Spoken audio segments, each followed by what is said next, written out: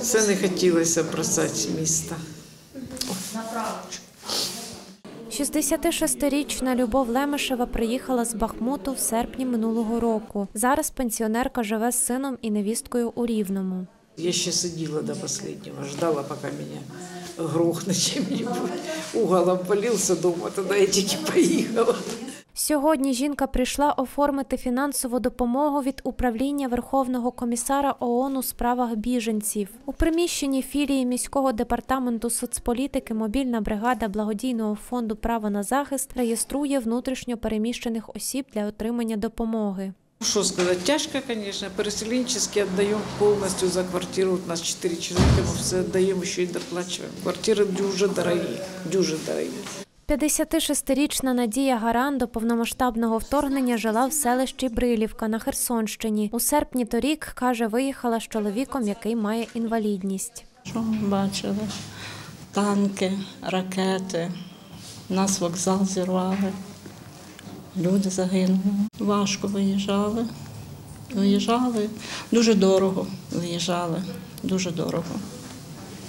Ми виїжджали через Крим, через бо в нас іншої дороги нас нема. Міст розбитий в Херсоні. Зараз розповідає, з чоловіком живуть на хуторі Зарічненського району у приватному будинку. Сьогодні, щоб зареєструватися на отримання фінансової допомоги, 5 годин їхала до Рівного. Один раз Червоний Хрест допоміг, більше ніякої допомоги нам не було. Дві тисячі я отримую, і чоловік, як інвалід, три тисячі.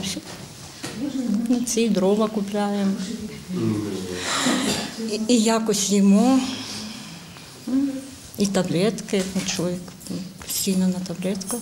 Подати заявку можуть переселенці, які релокувалися після 24 лютого 2022 року, а також ті, хто мали статус біженця за кордоном, а зараз повернулися, каже реєстратор з питань грошової допомоги Олег Мичка. Обов'язковою умовою є належність до однієї з категорій соціальної вразливості.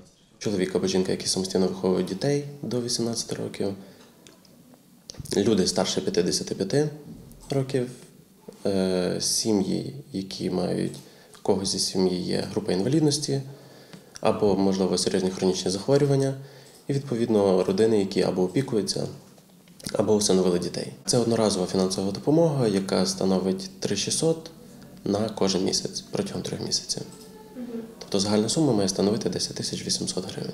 Реєстрації не підлягають ті внутрішньо переміщені особи, які вже отримували грошову допомогу від міжнародних організацій у 2022-2023 роках, каже Олег Мичка. Розклад руху мобільних груп публікують у телеграм-каналі Грошова допомога ВПО від УВКБ ООН у місті Львів. Анастасія Грунтківська, Назар Мідріган, Суспільне новини, Рівне.